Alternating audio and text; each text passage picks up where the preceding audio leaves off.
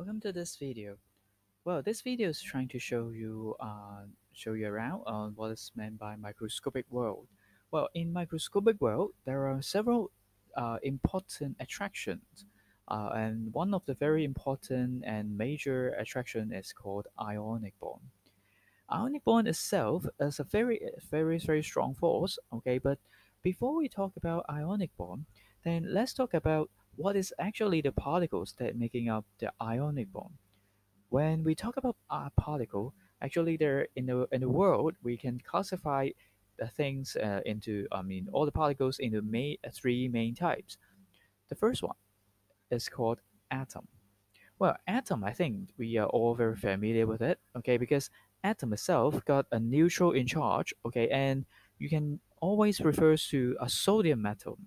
Okay, sodium atom got 11 protons and 11 electrons on its outermost shells. So when you add that up, okay, the uh, overall charge of the protons and electrons becomes zero. So atoms always refers to some neutral charge, uh, neutral uh, particles. But for some of the particles, they are charged, and they are called ions. Another example of ion still, let's uh, stick with sodium. Sodium itself got totally to, uh, 11 protons, but in this case, uh, due to some reasons, then the electron is lost. Then totally there are to, uh, 11, 10 electrons. So when you have 11 protons and 10 electrons, when you sum it up together, the number of charge become positive 1. That's why you can see a positive charge symbol is on the upper right hand corner.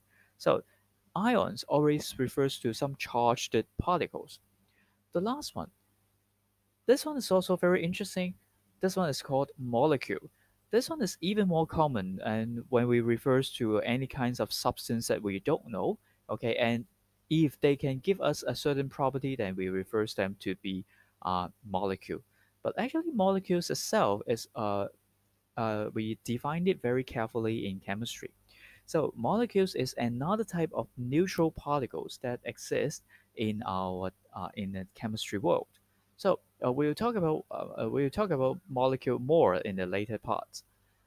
Well, let's look at what is meant by ion. Ion, just like what we've mentioned, is a charged particle.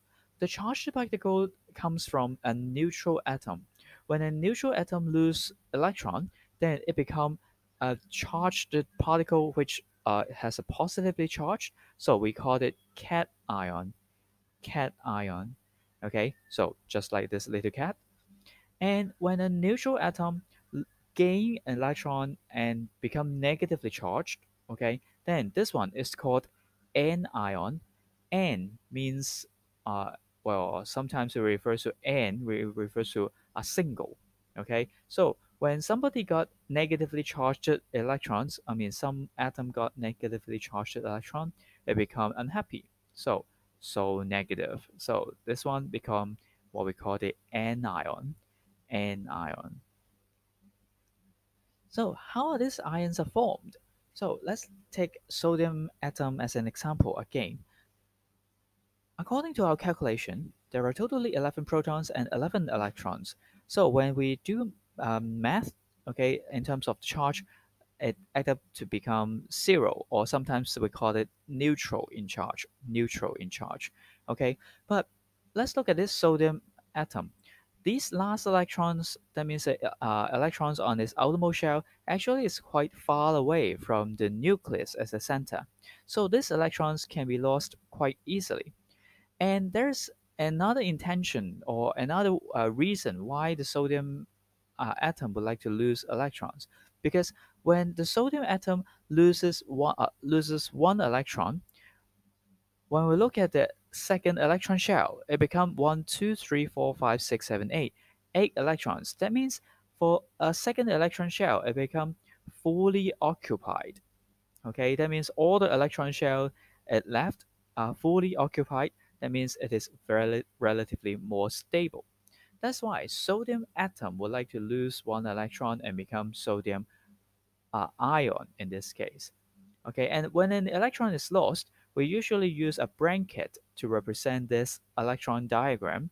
Okay, and uh, when we do the calculation, 11 protons positive charge and 10 electrons negatively charged. When it summits up together, it becomes a positive one. So in this electron diagram, we always have to put a positive charge here.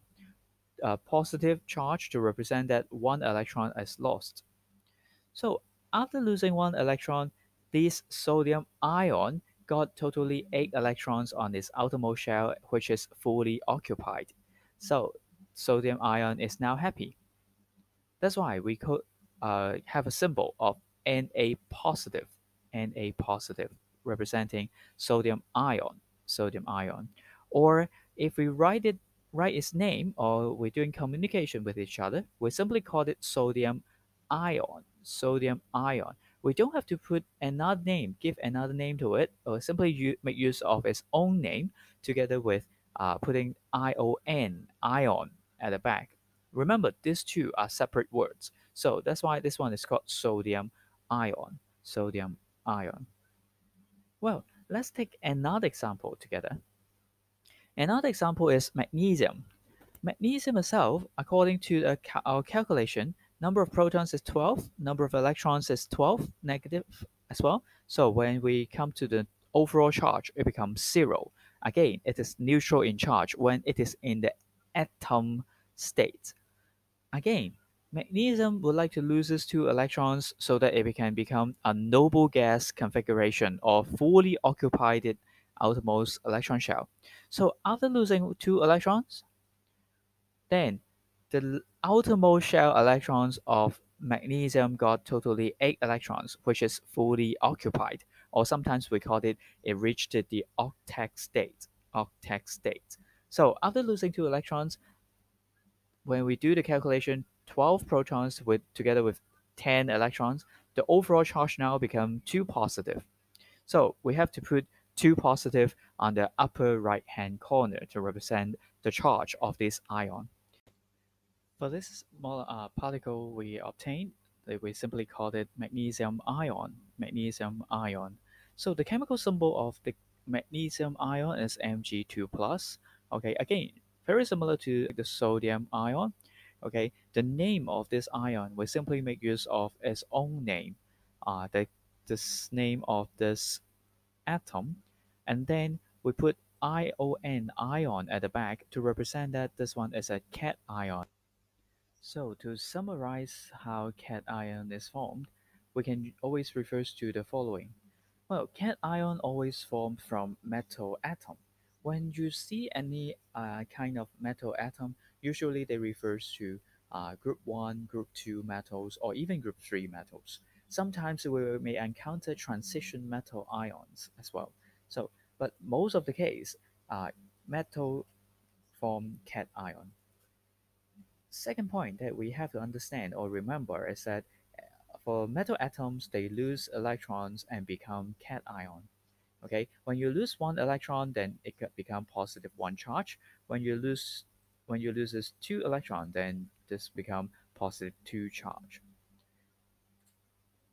And the ultimate goal of all these type of atoms is they want to become a noble gas arrangement or noble gas configuration. Just like what we have mentioned, uh, 282, this electron arrangement, they would like to lose two electrons to become noble gas configuration okay, or 281, they would like to lose one electron and become noble gas configuration.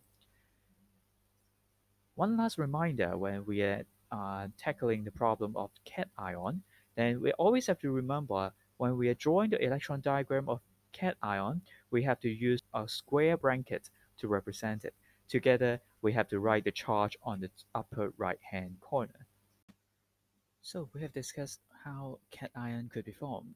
Then how about anion? The fluorine atom, it has totally seven electrons on uh, its outermost shell. So that's why it's called halogen. So when we look at the diagram, or we look at the uh, number of protons, electrons, and the total charge, you will notice that number of protons of fluorine is 9, okay, number of electrons is 9 minus. So the overall charge is 0. That means, again, it's a neutral atom. Okay, so for it to obtain a noble gas configuration or um, more stable configuration, it needs to gain one electron. One electron is gained, okay, and eventually it forms a structure with an extra electron coming from somewhere. Okay, well, actually, we don't really care about where, where does this electron comes from, but anyway, it gains uh, this fluorine atom gain an electron. And eventually you'll notice after gaining electron, when we do the calculation once again, the number of protons of uh, fluorine are still 9, okay? But for the number of electron now become 10 electrons, okay? Uh, 9 protons, what I meant, okay? Uh, 9 protons and 10 electrons. So the overall charge now become minus 1. So the overall charge become minus 1 again we because it is an ion, then we use a square bracket to represent it is an ion, and then we give the charge on the upper right hand corner as well. Okay, so this time is a negative one charge, so we put only negative. We simply ignore the one uh, to um, uh, prevent confusion. So after all, the formula of this ion become F minus, the minus representing the uh, total charge of negative 1. Well, because this one is a negatively charged ion, so we called it an anion. Well, to make it different from uh, the, uh, in terms of naming, to make it different from the cation, we usually change the name at the back. The name at the back, we change it from fluorine to fluoride. Fluorine originally is F-L U O R I N E. And then we change this I N E into I D E to represent that an electron is gained. So this ion, we call it a fluoride ion. Fluoride ion. So this is how we uh, how an anion is formed, okay, by gaining electron. Well, let's have another example. Another example is still uh, another period 2 elements. Okay, this is oxygen atom. So when we do the calculation of oxygen atom, you notice that we uh, it has 8 protons and 8 electrons and overall the total charge become 0. Okay, so this is how an oxygen atom looks like.